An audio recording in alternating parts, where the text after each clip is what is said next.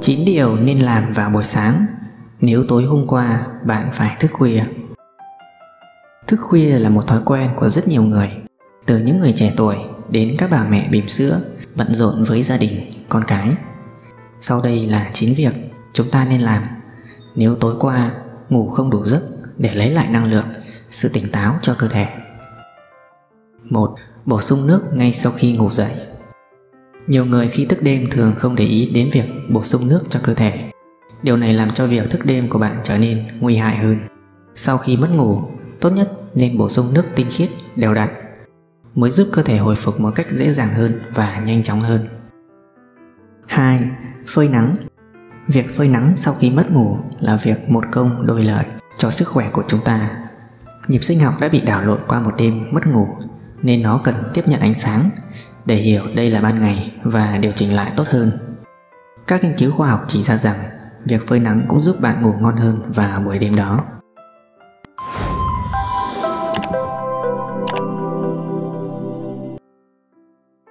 Ba, ngồi thẳng lưng Một thí nghiệm đã yêu cầu 110 sinh viên đại học đánh giá mức độ năng lượng, sự tập trung của họ trước và sau khi thay đổi tư thế sang ngồi thẳng lưng. Kết quả cho thấy, những khi càng ngồi gục xuống hoặc nằm hẳn xuống bàn, họ lại càng cảm thấy cơ thể bị ì, mệt mỏi, buồn ngủ nhưng không ngủ được. Vì vậy, hãy ngồi thẳng lưng để lấy lại tinh thần sau một đêm mất ngủ. 4. Ăn một bữa sáng đầy đủ dinh dưỡng Ăn sáng sẽ giúp đánh thức cơ thể, não bộ có năng lượng hoạt động hiệu quả hơn. Vì vậy, bữa ăn sáng được xem như là vị cứu tinh cho một đêm dài mất sức do thức khuya và mất ngủ. Theo các nghiên cứu, để cơ thể có năng lượng hoạt động sau khi mất ngủ, bạn cần một bữa sáng giàu protein. Điều này giúp bạn tránh ăn vặt không lành mạnh trong ngày. Bạn cũng nên bổ sung thêm hoa quả và nước ép. 5. Vận động nhẹ nhàng Cơ thể uể oải, mệt mỏi sau một đêm mất ngủ sẽ khiến bạn không muốn vận động một chút nào. Tuy nhiên, lý trí nên thuyết phục cơ thể rằng hoạt động thể chất sẽ kích hoạt toàn bộ cơ thể, trí óc, cảm xúc để thêm sự tập trung cho ngày dài. Bạn không cần phải tập những bài tập quá nặng, chỉ cần vận động nhẹ nhàng như đi bộ để cải thiện lưu thông máu, khả năng tập trung, giảm mệt mỏi trước khi bắt đầu công việc. Hoặc thậm chí bạn có thể tập nhẹ nhàng như đi dạo, tập yoga ngay trong giờ nghỉ trưa. 6. Không uống quá nhiều cà phê Sau một đêm mất ngủ, ai cũng sẽ uống cà phê để lấy lại sự tỉnh táo. Một đến hai tách cà phê vào buổi sáng có thể rất hữu ích, nhưng miễn là bạn đừng lạm dụng nó, dù bạn có buồn ngủ tới đâu.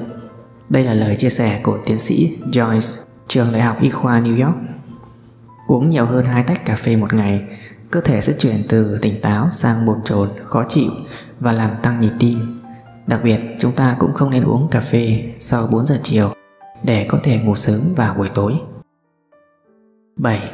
Hạn chế lái xe Lái xe là việc đòi hỏi sự tập trung cao độ, nên đã mất ngủ thì không nên lái xe để tránh những điều đáng tiếc có thể xảy ra. Việc này không chỉ dễ gây tai nạn cho người khác mà nguy hiểm cho cả bản thân. 8. Không ăn nhiều đồ ngọt mà hãy nạp nhiều chất xơ. Đường và đồ ăn ngọt đều có thể nhanh chóng cung cấp nhiều năng lượng, đặc biệt là sau thức khuya. Cảm thấy mệt mỏi, đói bụng, mọi người đều muốn ăn. Nhưng theo chuyên gia về liệu pháp tự nhiên Joe X thì ăn đồ ngọt và ngũ cốc khiến đường huyết tăng cao. Người sau thức khuya ăn vào càng cảm thấy tệ hơn. Ngoài ra ăn thực phẩm chứa nhiều đường còn khiến thân thể người tiết ra nhiều serotonin, gây nên tình trạng buồn ngủ Đặc biệt là sau khi thức khuya vẫn cần tiếp tục học tập thì nên tránh ăn đồ ngọt, ngũ cốc để không bị ngủ gật. Để duy trì sự tỉnh táo có thể ăn thực phẩm chứa protein, chất xơ và chất béo lành mạnh. Thực phẩm giàu protein như thịt, phô mai, trứng gà có khả năng làm tăng cường trao đổi chất. Nước trái cây tuy chứa đường nhưng có tác dụng kích thích hệ thần kinh, đồng thời cung cấp vitamin, khoáng chất và các chất chống oxy hóa rất tốt cho quá trình đào thải độc tố. Tuy nhiên nên tránh các loại nước trái cây công nghiệp có sẵn đường và các chất bảo quản. Ngoài ra để duy trì sự tỉnh táo nên ăn ít và ăn thành nhiều bữa, tránh ăn một lần quá nhiều.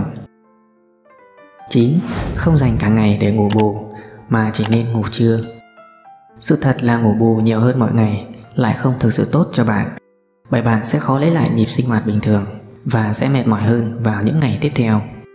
Nếu muốn nghỉ ngơi, bù lại thì chỉ nên ngủ thêm 2 tiếng so với giấc ngủ mọi ngày. Dù bạn mệt mỏi đến mức nào chăng nữa, giấc ngủ bù chỉ nên kéo dài tối đa là 10 tiếng. Đây là lời chia sẻ của bác sĩ Jeffrey Dahmer, giám đốc trung tâm y tế Fusion Sleep ở Atlanta. Hãy cố gắng tranh thủ một giấc ngủ ngắn trong ngày nếu bạn có thể. Chắc chắn cơ thể bạn sẽ cảm ơn giấc ngủ ngắn, dù chỉ là 15 phút vì sau đó, bạn có thể nâng cao năng suất lao động lên gấp nhiều lần.